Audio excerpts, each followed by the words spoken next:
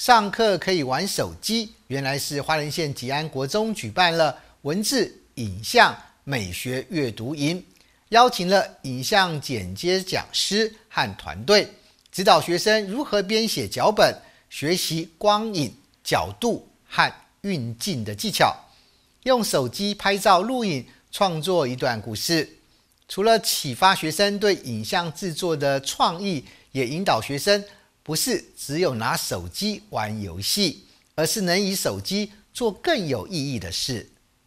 花莲县立吉安国中二日、三日两天举办文字、影像美学阅读营，邀请影像剪辑讲师曾世峰和团队，传授静态摄影到动态拍摄的技巧和影片计划，从摄影九宫格、前中后景以及光影运用等。让学生了解用手机也可以拍出令人惊艳的影像记录。我们平常忙于学习，所以我们平常不没办法有机会去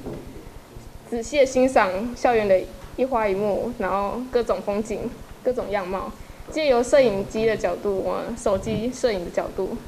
让我们看到更不一样的世界。平常就是拍照的时候，手机拿出来拍，就直接那个照片就存起来了。但是这经过这次的课堂之后，就会学会去调角度，去找哪一个角度拍的照片比较好看。拍照的角度啊、时间还有光线，都需要很去仔细的去注意，不然就拍不出比较好的照片。不管怎么修都修不好这样。七年级、八年级共分成四个小组，以校园客家原民族群为主题，展现学习成果。也在过程中更加认识生活的环境，哪怕只是五六千块的手机，也可以及时的做艺术的发挥。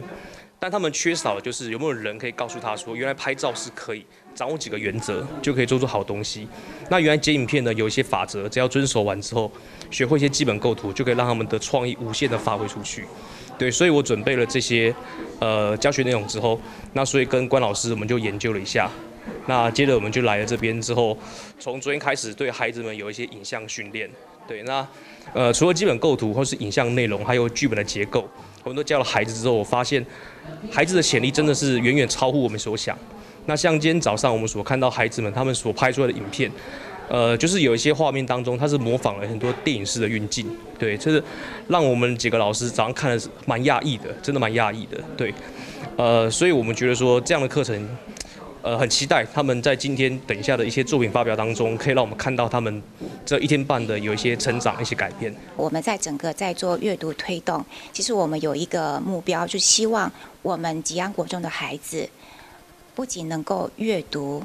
然后喜欢阅读，更能够享受阅读。所以说，其实我们在不仅是在文本阅读上面，我们还呃透过比如说呃译文，还有英语文。好，还有科技，甚至还有地理、历史，其实就在整个跨领域。其实让孩子透过阅读这样子的活动课程，能够连接，还有延伸到其他领域的，好这样子一个他们的学习面向可以更广更深。吉安国中校长刘启明表示，希望学生能够了解阅读生活、阅读世界，阅读也能借由影像表达自己的想法。更重要的是，让学生不再只是拿手机玩游戏，而是能以手机做更有意义的事。记者蒋方燕、简安章报道。